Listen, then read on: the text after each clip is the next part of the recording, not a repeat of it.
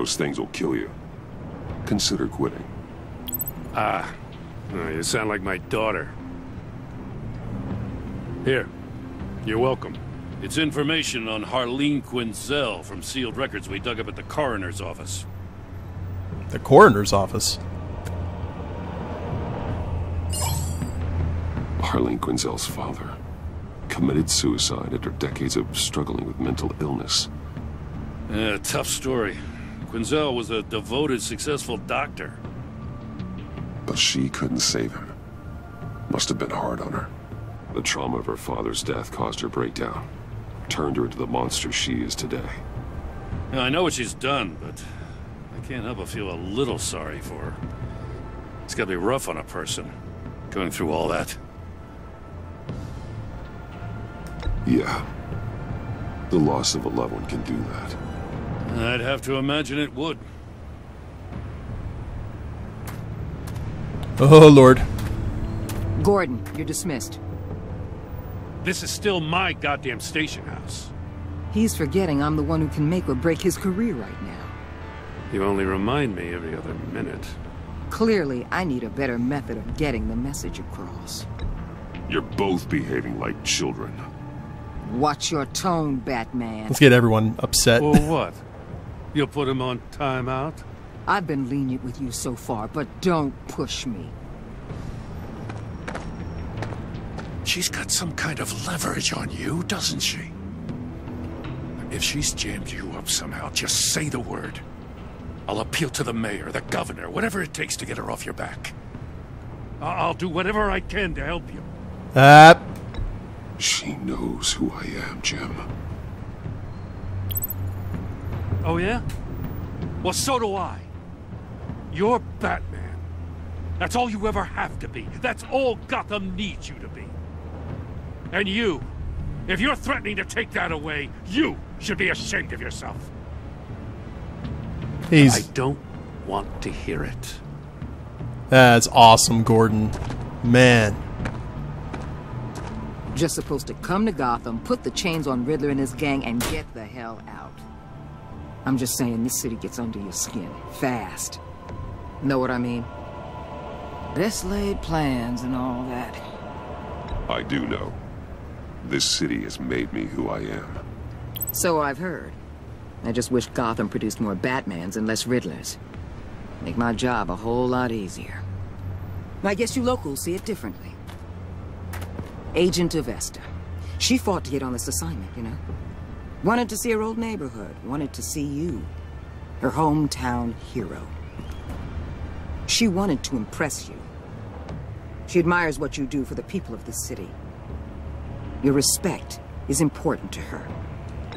She certainly succeeded on that front. She's one of my best. Still, wanting to impress you? It's the same thing that made her move too fast on Riddler. Now there's a lesson learned. So, Wayne Enterprises. ah, hell. Heard you made some new friends. You're having me followed. Thanks to you, these very bad people have an EMP and a key that'll open every lock I would want to keep bolted shut. They're clearly planning something. The stakes are too high to leave anything to chance. You know, I actually considered asking you to infiltrate Riddler's gang. Before everything blew up, I knew I could count on you to get me close to them. Close to Bane. You're good at this. Seems like you've already won Harley Quinn's trust. What you saw was just a test. An operation like theirs requires someone with your resources. As long as you don't blow it, they're gonna want to keep Bruce Wayne around until they take him for all they can. Get them away from their base of operations. Somewhere they'll be exposed. When they're all together, out in the open, contact me. I'll be standing by, ready to ambush. We'll take them down when they're at their most vulnerable. Sound good? They'll never know what hit them. Hmm. You need to involve Gordon. Don't tell me how to run my operation. His people know this city better than anyone. And they have their hands filled with other priorities right now. Batman. If it gets bad for you, just remember, we're out here. When you're in deep like this, you need friends. Let's say everything goes pear-shaped, and you get stuck in there longer than you'd like. Then what's right, what's wrong, it all gets blurry. And guess what? That's okay. Because you're going to have to do some blurry things that you're not proud of before this is done. You hear me? That's just how these kinds of operations go down. I created Batman to strike fear into criminals, not become one. Batman's not the one rubbing shoulders with them at the moment. You should think about which one Gotham really needs right now.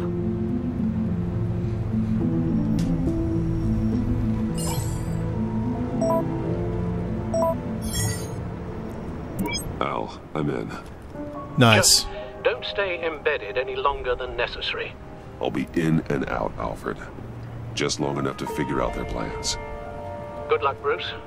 Stay safe. And we haven't even seen Mr. Freeze yet. That's the scary thing about it.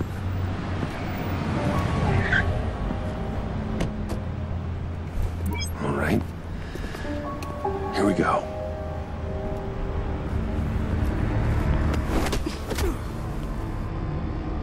All right.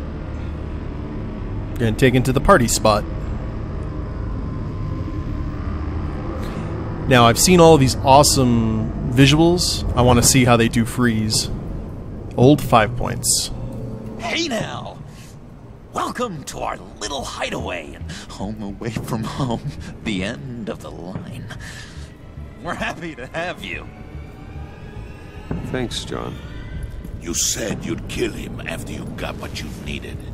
So what? Ain't a girl allowed to change her mind? Could someone get me out of these handcuffs, please? Tell me why I shouldn't kill you. Um, What I have is influence, and that is worth a lot. Spoken like a man who has never had to do hard work.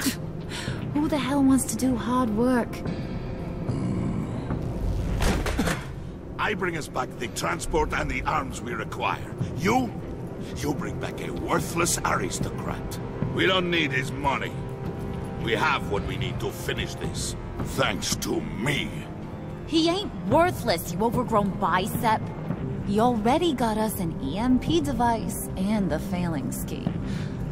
I'll betcha I can find a use for him. I do not care how much these two swoon over you, Wayne. We don't want you here, and we don't need you here. What the hell? now! Can you do something about this? It's Freeze. Freeze is coming. What have you done? that's terrifying. You need to uncuff me. Don't screw this up. You fool! I can turn it off. Make it stop, or I will seal you both in ice. Easy. Swear, if you don't get that electricity back on immediately, I'll send you to a frozen hell. Okay. We'll turn off all the things. We can do it. We're Batman. Oh, there's a guide. I see, I see, I see. Right there. First schematic matched. Turn that one green. It's right up there at the top. Match the remaining schematics. Good thing we're not under a time limit or anything. That would be bad.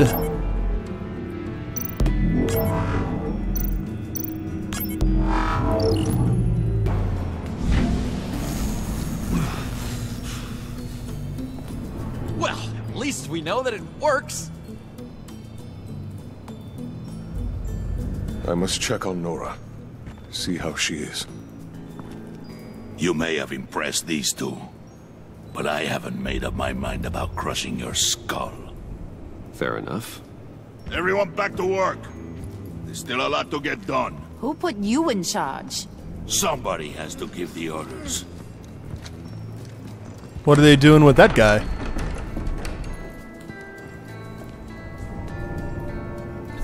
Thanks, John. That was a nice job before. Come on up to my office.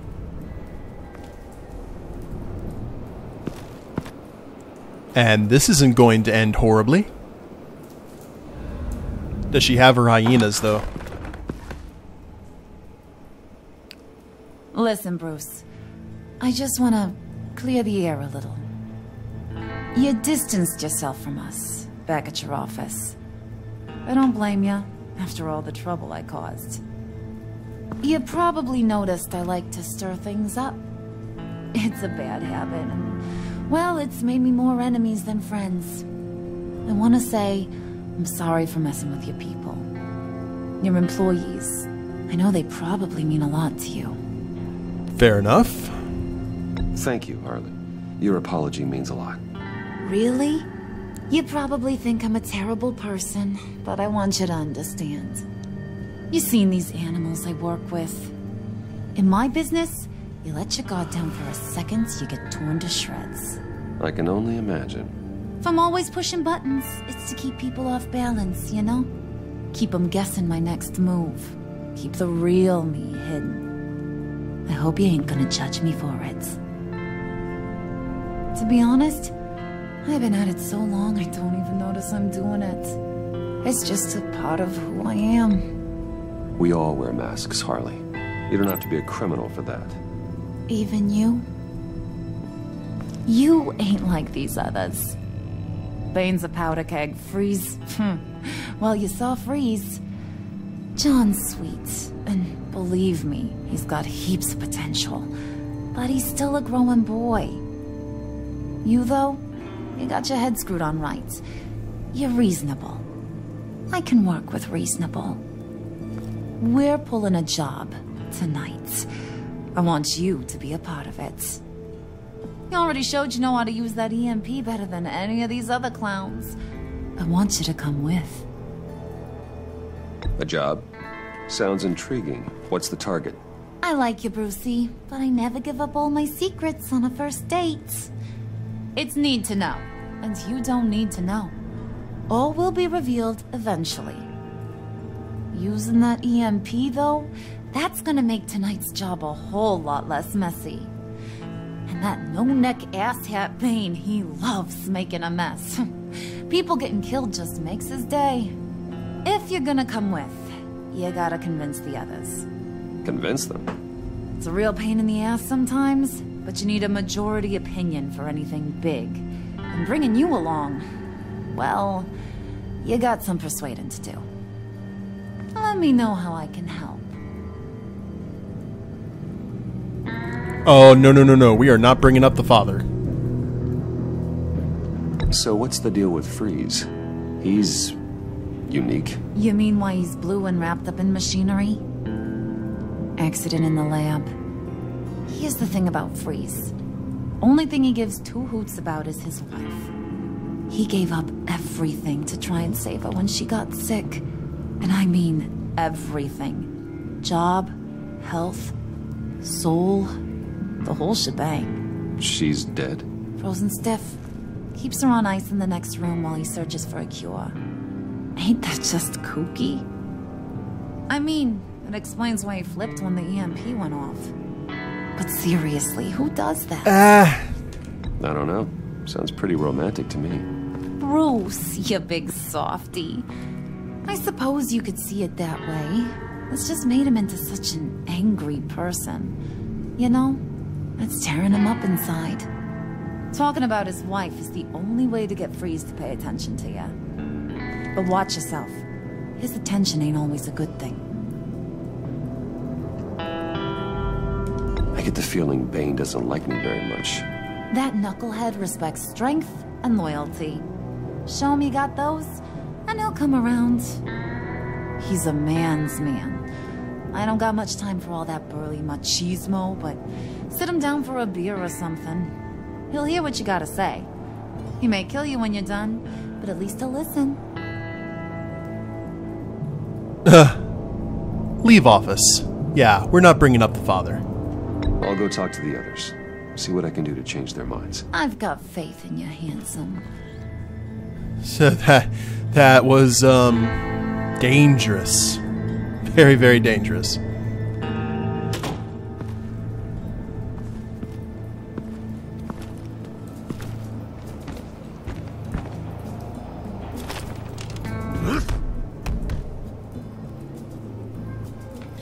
What a motley little crew we got. Well, let's head down and talk to uh, Victor. He's probably the more reasonable of the two. Also, in some ways, a lot more deadly, but we'll have to take the good with the bad. I'd have to see him fully armored up to really say anything about his design. Ooh, wait, no, no, no, no. We're not getting our steps in right now, Bruce. We wanted to see what the map of Gotham has to say. What are they planning to do? I don't have time to sort through all this. Not with them watching me.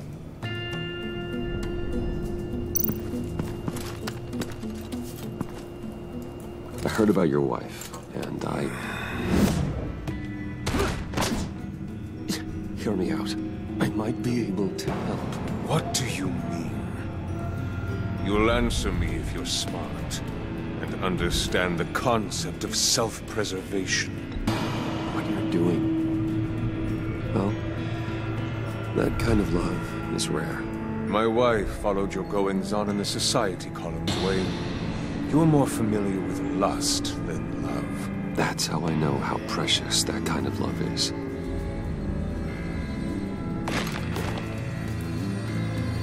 So he has what a. if you get caught? Sent to prison. What happens to your wife then?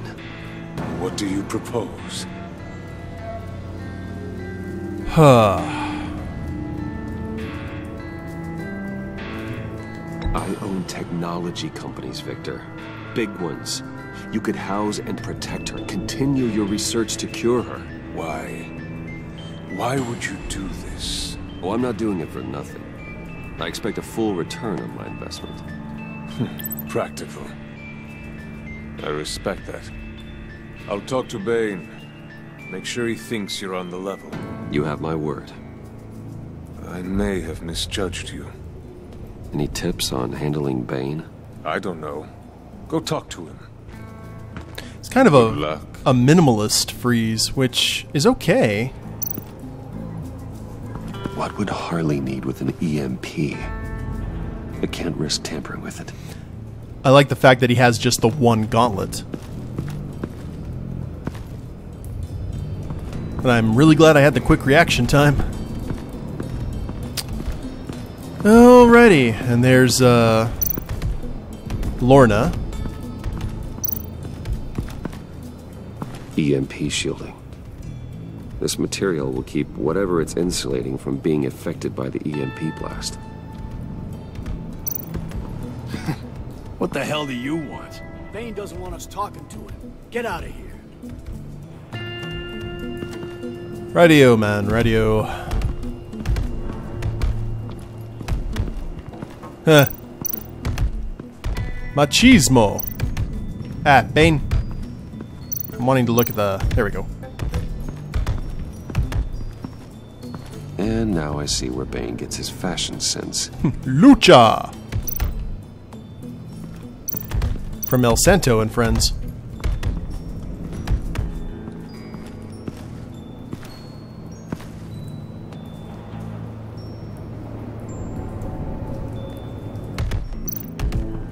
Okay, Biggin, let's chat. I was hoping to get another chance to speak with you. Thirsty work. My throat is dry. Fetch, Wayne.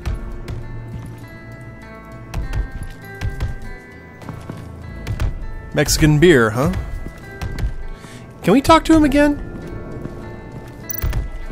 Bane, a word. Nope. I was about to say, I was like, hey, you come to with me together and we'll go get a drink. But I guess it doesn't work out that way. So if I was John's house.